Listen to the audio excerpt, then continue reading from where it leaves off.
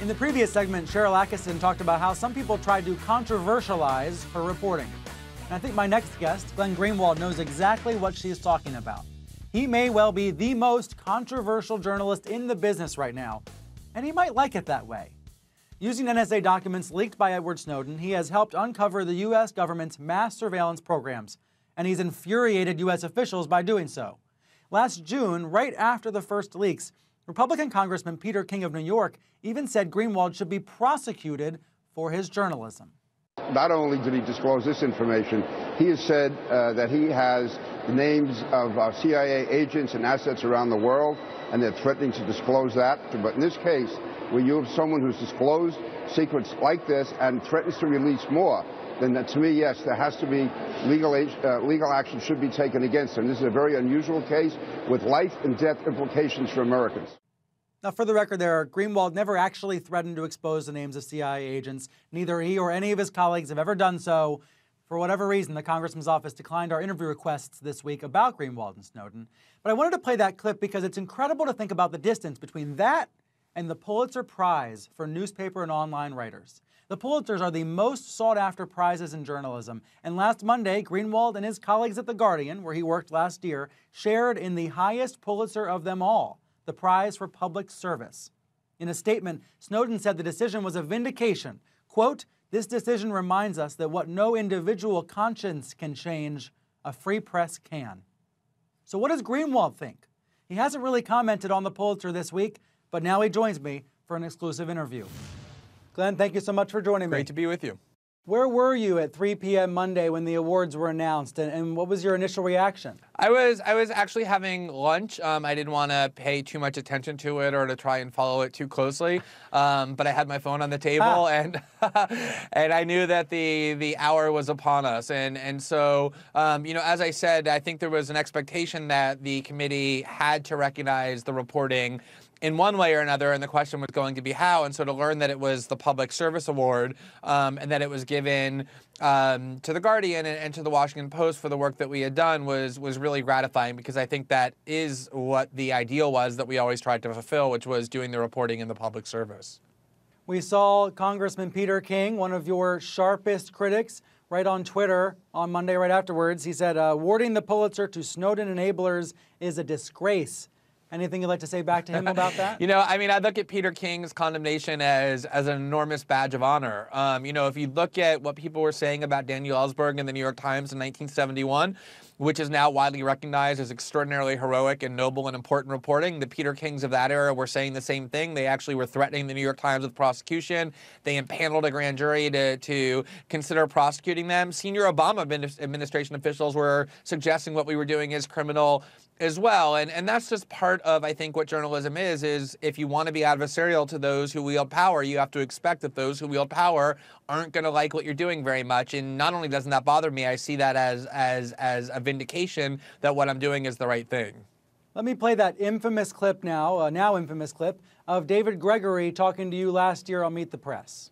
Why shouldn't you, Mr. Greenwald, be charged with a crime? I think it's pretty extraordinary that anybody who would call themselves a journalist would publicly muse about whether or not other journalists should be charged with felonies. For what it's worth, I, I, think David Gregory knew the answer to that question that he was asking you, but I wonder if you think the Pulitzer Board was sending a message with this Public Service Award to people who may actually wonder why you weren't charged with a crime were they trying to make a statement by presenting this public service award? I think it made a statement. Whether that was their intent or not, I, I don't know. I, I, assume it was. The people on the hmm. committee are longtime journalists and, and presumably interested in defending basic press freedoms. And Brian, to me, this is one of the most important things that I think has happened in this story is it wasn't just David Gregory, it was this series, and, and, and it escalated recently of not just people like Peter King, but Mike Rogers and, and James Clapper and Keith Alexander, um, allied governments in Canada, explicitly calling me um, personally and, and my colleagues criminals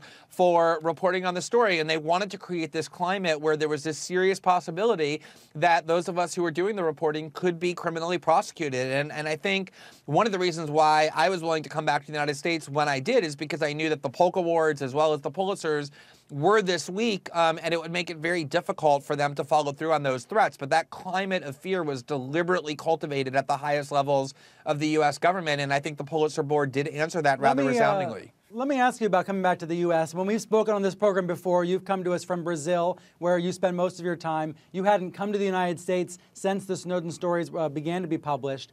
Tell me about that decision making process. It sounds like the awards were part of it, but did you also seek out any assurances from the U.S. government that you would be able to enter the country freely? We did. I mean, I had lawyers working for several months, including many who have, or at least some who have, connections at the highest levels of the Justice Department trying to get some indication about what the government's intentions were if I were to try to return. And they were given no information. They were completely stonewalled. The government wouldn't say if there was a grand jury impaneled, if there was an indictment under seal, if they intended to arrest us. They wanted to keep us in this state of uncertainty. And when you combine that with all the threats that I just referenced, there clearly was some risk um, of coming back. But at the same time, we just felt on principle that I was no longer going to be will I was no longer willing to be kept in a single country and kept out of my own country based on these sort of implicit threats and bullying techniques and if they really wanted to to do something I wanted to force the issue and make them do it.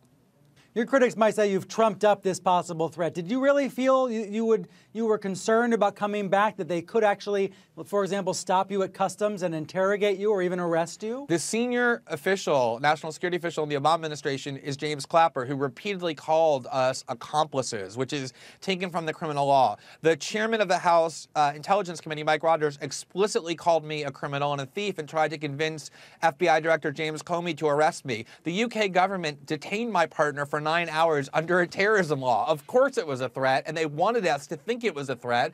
We didn't concoct those statements mm. or those hmm. actions. They did that themselves on purpose to try and create this menacing climate.